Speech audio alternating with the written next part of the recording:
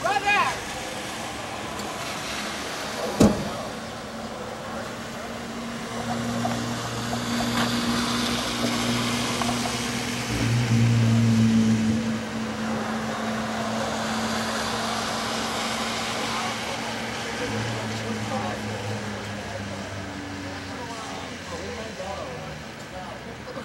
the adjustment there. What else? That came with the adjustment.